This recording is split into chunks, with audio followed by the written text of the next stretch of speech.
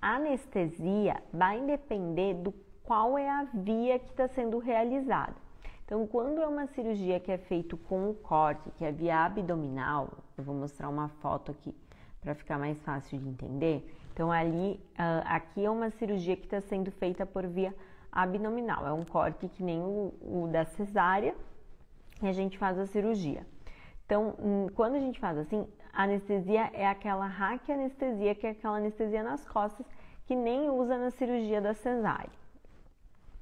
Quando é uma cirurgia que é feita por via vaginal, então a cirurgia por via vaginal, a gente faz a mesma cirurgia, só que em vez de fazer o corte no abdômen, a gente vai tirar o útero pela vagina, tá? Então aqui tá mostrando na foto fazendo a retirada do útero. Aqui também a gente faz a raquianestesia, tá?